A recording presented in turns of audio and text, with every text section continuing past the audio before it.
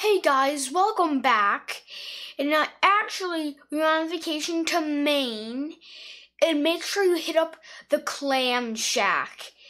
Many people say it's the best lobster roll in America. So go check it out.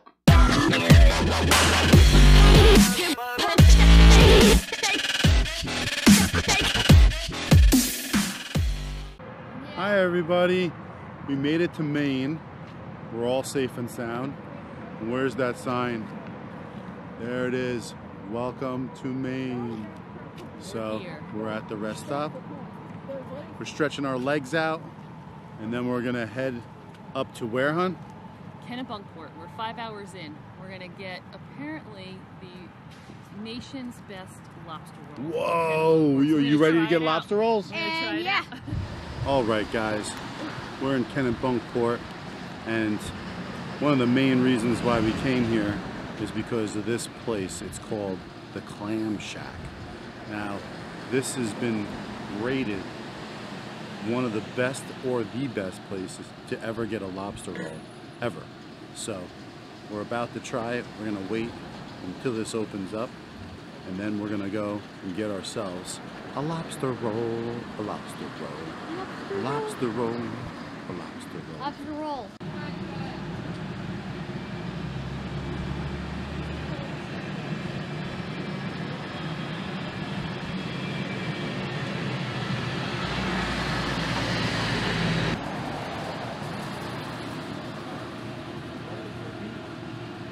Okay. Yeah. So, Daddy's up there ordering our lobster rolls. We Yeah. took a little walk. We visited a couple gift shops while he's waited online. And we are ready to try, apparently, the nation's best lobster roll. And what the heck is this? Is this some sort of sauce?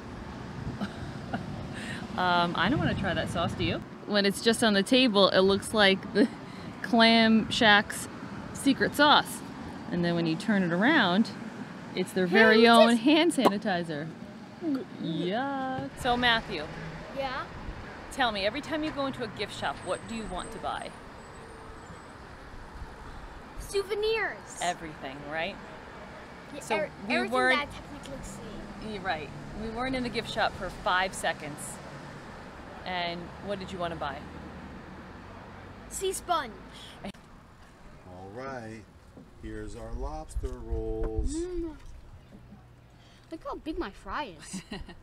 Wow, look at that. right. Let me see yours. Look at that. There's some lemon in it. That looks so. We didn't taste it yet, but Matthew rated them five stars on Let me what? Get this one.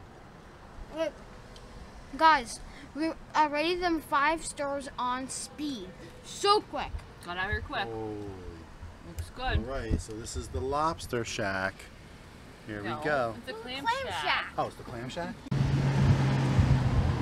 right. What do you Mhm. think, John? Let's have a little review. I like how the roll is just a little toasted with a little bit of butter and it gives you like a little crunch when you bite into it, which makes it nice with the lobster. The lobster is so fresh. I don't think I've had any fresher. Really good. What about you, Matthew? What do you think? You squeeze a little lemon on it? Well, you can squeeze lemon on it. I like the butter fat. I also like with Daddy that gives you a little crunch to it. Mm-hmm. Okay, so what was the final rating? Overall, how many stars would you give it? Ten. Ten stars? 10 out of what? 10? Ten out of ten. Wow. Did you use their um, secret sauce? Yeah, it was great. You didn't use this, did you? Oh, you put this on? On, on your lobster? Yeah, just kidding. oh my god, that'd be so funny if I did. All right, so what are we going to do now? Um, Um, we are um gonna go. I think this Thunder Hole for seven o'clock. Mm, According, Thunderhole, 4 o'clock. too. no, that's that's at the that's at the hotel. That is Oh, gonna, oh. that is gonna be do a big Thunder Hole in the bathroom. Whoa! Whoa, that can get some views right there.